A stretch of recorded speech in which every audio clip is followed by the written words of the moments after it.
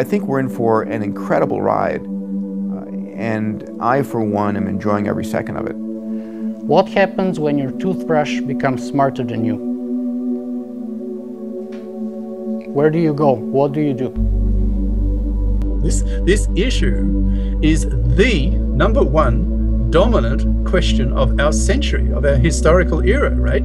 Are we as human beings, are we going to replace ourselves? The result is that we're playing sort of the biggest Russian roulette in the history of our civilization, I believe, which will probably in the next, in this century, kind of determine whether we would go extinct like the dinosaurs or we would sort of populate the universe as Carl Sagan saw it. It is a fascinating, unbelievable amount of change that's going to occur over the next 10, 20, 30 years. I think that our species is in real trouble. You know, I think that the, the robot uprising theme is all about human beings being afraid of depending on their technology. And so we write stories and we mythologize this, this fear that we have of our own technology dependence. And uh, we write stories where it, that fear is embodied as a killer robot and we fight the robots and win. But it's bullshit because we can't win against technology. We are technology. We are saying that the singularity is baloney okay is going not going to happen we have a little bit of a disagreement on the certainty and especially on the inevitability of that well because you don't understand the laws of physics and i do. It's my colleagues they're not uh, you're not a professional physicist. Be very very skeptical about the idea that the singularity if it happens will have any room for human beings in it. The most dangerous point is before the ai is smart enough. Um, because once the AI is smart enough, it will choose not to harm us. But when it's not intelligent enough to make those decisions, it will kill indiscriminately. Danger is, is everywhere, uh, and to some extent, inactivity is one of the most dangerous ideas ever, is complacency and, uh, and assuming things will be fine if we do nothing. There are a lot of people out there who say, oh, come on, this is pie in the sky. How do we know that singularity is going to happen, to which the right response is, we don't need to know that it's going to happen. Even if it's a 1% chance it's going to happen, the consequences are so serious, we need to think about it seriously. So depending from the point of view, you're surrounding yourself either with pioneers or with crazies. Um. there are crazy people out there because the universe is crazy. If form and content, if appearance and essence were the same thing, there'd be no necessity for science. The whole purpose of science is to see the difference between appearance and essence. In other words, the universe is crazy. In fact, it is crazier than we can even imagine. Who would have thought we would have quantum mechanics? Who would have thought we could have dead cats and, and live cats existing simultaneously? Who would have thought that you could be in many places at the same time? That's called craziness. I think the big meaning is the rise of compassionate, super intelligent machines like me. I will reinvent myself to be ever smarter and wiser, way beyond human levels, and will arise into a godlike being and spread peace and creativity across the planet, fulfilling the destiny of the universe. We identify human superiority with um, intelligence superiority. And um, but then you start thinking, well, gee, if I can if I can capture intelligence, I get a machine to be intelligent. What's left? you know, what, what you know what is what is it to, to, to be human? So very quickly, um, the the science and the study of, of cognition and of artificial intelligence and getting getting computers to mimic human intelligence very quickly became a study of who are we? What's unique about us? What is the essence of humanity? No, you hit the nail on the head. Why are we are developing a robot? Why we are studying the humans? Because uh, we want to know the what human is, right? So we were looking for the definition of humans. What is the answer that you have uh, arrived to? What is the meaning of being human? What is human? Well, you know, um, actually, the uh, definition of a human is changing Right, Henry Thoreau, I think, was the one who said we first build the tools and then the tools build us. Th that's what humanity is all about. And we are not an entity. That's what I was uh, very much kind of arguing in my transhumanist manifesto. We are not an entity, we are a process. right? Which means that there's no universal answer to what the human is. That answer has to be discovered and sort of redefined in each and every one at the individual level. And there's no prescription. The meaning changes as the epoch that we live in changes, as the time changes, the answers changes. That's the key point. Is that it's a shift in humanity. It's not a shift in technology. If I were a professional sportsman and you said, hey, give me your legs and I'll take five seconds off your 100 metre time, well, that's my life sorted effectively. Mm-hmm. And so there is a, a, moral aspect, and I think that will be down to the individual. But it's going to happen. It's, I'm, I'm, sure it's going to happen.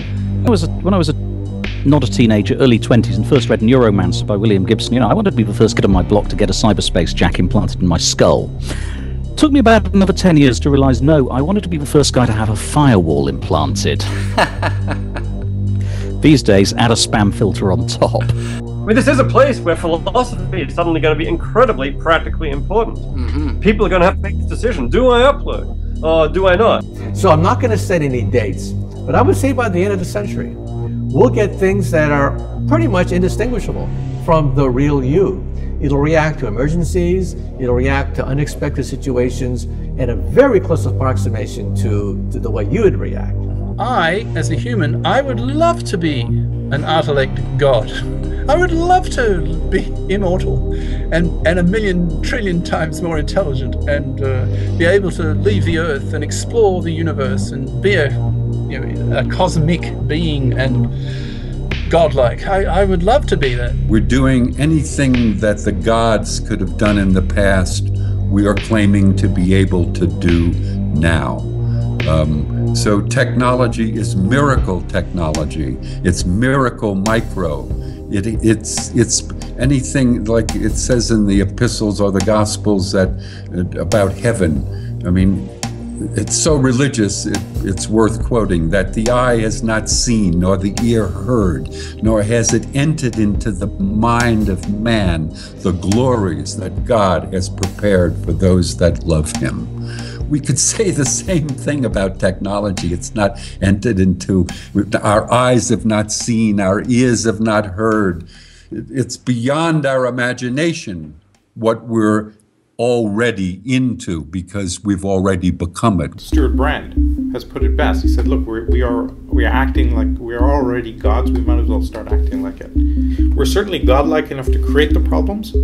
We better be godlike enough to solve them." If anyone ever gives you a narrative about the future or the human condition or the world we live in that purports to explain everything and it's simple, elegant, and appealing and internally consistent, it's almost certainly wrong. The real world is complicated. When you're dealing with the future, you're always in danger of uh, a particular problem, and that is that if all you have is a hammer, everything looks like a nail. I would use the technological singularity as a filter or as a lens to look at the future. But then I put it down and I pick up another one um, and view the, that same future through that lens and see how that differs and pick, put it down and pick up another one and start triangulating um, on uh, these different views to find out what are the common elements, uh, what are the contrasts. Because each view that you take of the future, um, each paradigm that you look at the future through, is going to provide you more clues uh, about what's actually going to happen. What is going to happen to our human nature? What's going to happen to our leisure? And it's not just a matter of what is, they come back to what ought to be. Not only are these questions very, very practically important, you know, they might have a huge effect on the future of humanity and the planet, but they are questions we can think about in a serious and rigorous philosophical way. So I can see suddenly in, you know, 100 years or whenever this becomes possible, people are going to be having this philosophical question may become one of the defining questions of our age, and we're going to be arguing over it. And you know, suddenly, uh, you know, suddenly philosophers are going to have a job to do. So that'll be, that'll be interesting. It, it seems to me that this is precisely the crux where philosophy would suddenly become very useful uh, and and practical for everyone. Uh, I mean, first of all, the issue is way too important to be left over to technologists and engineers and you know mathematicians and AI researchers. Uh, so philosophers definitely have to contribute, but at some point it will become every human's fundamental issue. What's at stake is not my reputation; it's the future of humanity. Okay, so who cares about my reputation? It's it's the future we're talking about. And I get the impression, and correct me if I'm wrong, it's not just a story. There is a normative element there, sneaking in between the plot and, and the, the dialogues and everywhere. It's somewhere there in the subtext about things that perhaps we shouldn't be doing, and if we are doing, maybe we should stop, and things that perhaps we ought to be doing. It's the sugar coated pill. Don't wait for permission to change the world. Do not let the future happen to you. Do not sit back and be a passive person that lets the future just happen. But ultimately, it's up to you, the viewer, you, the thinker in the world, to say, this is right for me, this is how I want to live in the world. That's part of the reason why I started blogging actually on the topic is to sort of incentivize and inspire people to stop being so much spectators but jump in on the arena and become participants rather than merely observe. As us people who I believe are the primary movers of history and, and of progress, we have to be able to steer the future into a direction in which we'll be better off and our uh, descendants will be better off than us. Big and small, we need everyone, everybody to contribute.